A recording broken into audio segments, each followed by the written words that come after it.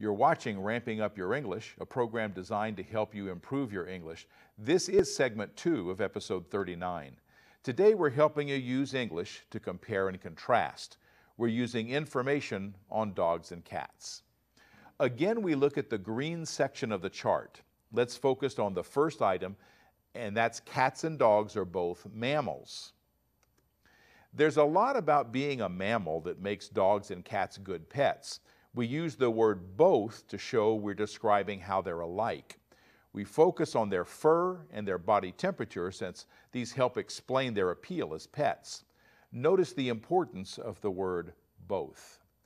Now we restate their popularity. We use the word share to show that we're comparing.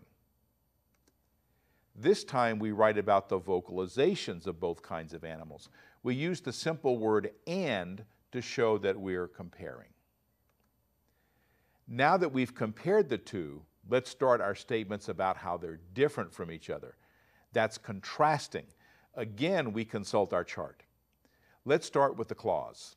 Cats can contract them, dogs can't. First, let's announce that we're shifting gears and starting to contrast. We use the word while because it shows that we're identifying a feature that they both have in common but one which has differences between them. We show that we're stating two or more differences when we use the phrase for one thing. We describe the difference, then we simply state that a dog can't retract its claws. Then we state the effect of this difference. We indicate that we're pointing out another contrasting feature when we state another difference. Again, we use the word while, and we also use the word in contrast to identify another difference. Now, looking back at the Venn diagram, we've used three of the traits in the middle to compare dogs and cats, and we've used two of the differences to contrast the two.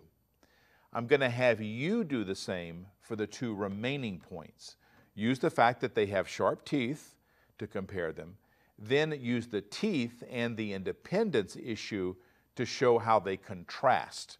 Remember, using the words both, while, and difference can help you achieve the function of comparing and contrasting two well-known objects.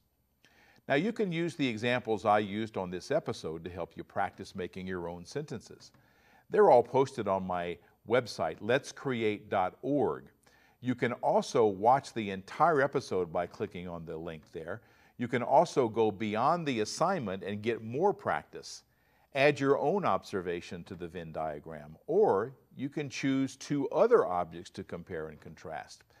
Looking at how dogs and cats are alike and how they're different may help your thinking process, not only in comparing and contrasting, but also in learning that differences are not bad things. Learning to respect differences is a vital life skill and one that seems to be lacking in our world. Use the light side of the force. After all, you're working to improve on a different language than the one to which you're comfortable. You're already stepping into the light.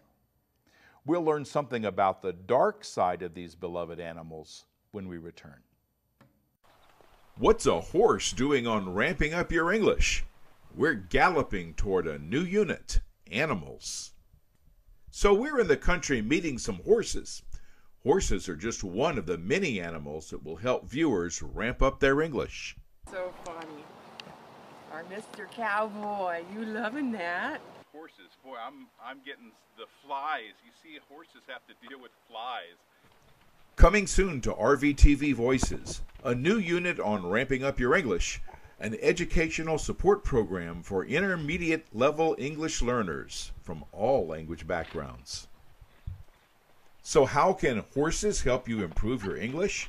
Watch Ramping Up Your English to find out on channels 15 and 115 in Ashland and channel 182 on Charter Cable in Southern Oregon.